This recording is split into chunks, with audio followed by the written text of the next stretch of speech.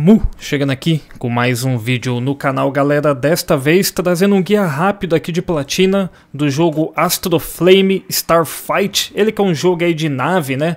Aquele típico jogo de navinha, de tirinho, que a gente gosta aí. Sei que muita gente curte esse estilo de jogo. Então eu tô trazendo aqui para vocês é, um guia rápido aqui, só mencionando um pouquinho sobre o game, até porque ele não tem troféus perdíveis, né? Até porque você pode evoluir a nave, é, fazer upgrades e voltar em qualquer momento ali nas fases. O jogo ele tem um total de 15 fases ali, que você tem que chegar até o final para zerar o game. Então a gente tem um troféu ali de zerar o game. A gente tem os troféus colecionáveis aí de 2.500 mortes até 7.500 mortes, que são tudo troféu de ouro né, no jogo. Acho que só 2.500 mortes aí é um troféu de prata.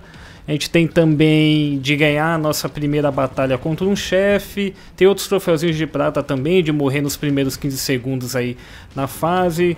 Tem lá os uh, acumulativo, né, de, de recolher 10 mil recursos, que é quando você derrota alguma nave ali você ganha lá umas bolinhas verdes que são recursos que você vai gastar para poder fazer os upgrades aí do da nave, né?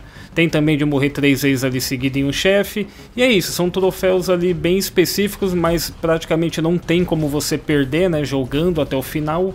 Uma coisa ou outra ali você pode é, jogar um pouco mais, né? Provavelmente ali de derrotar 7.500 inimigos. Talvez mesmo, mesmo depois de você terminar o game você ainda tem que jogar mais um pouquinho, repetir algumas fases. Mas é tranquilo, você pode jogar no Easy, não tem troféu de dificuldade. Mas é isso, fica a recomendação aí pra vocês do Astro Flame Starfight. É um jogo bem legal, é um jogo de navinha, né? Essa versão aqui que eu platinei é a versão nativa de PS5, mas ele também tem para PS4. Acredito que o jogo também é multi, tem lá no Xbox, na Steam, para você que curte fazer as conquistas lá também, tem como. E como o jogo aí não tem né, esses troféus perdíveis e tal, não precisa fazer um um guia do início ao fim. Eu trouxe aqui esse guia rápido, né, só comentando aí o básico do game. Espero que vocês tenham curtido. Deixa o like aí no vídeo, se inscreva no canal. Qualquer dúvida aí, só comentar aqui abaixo no campo de, comentários aqui do vídeo, que eu tiro dúvidas aí para vocês. E é isso. Tamo junto, valeu e fui!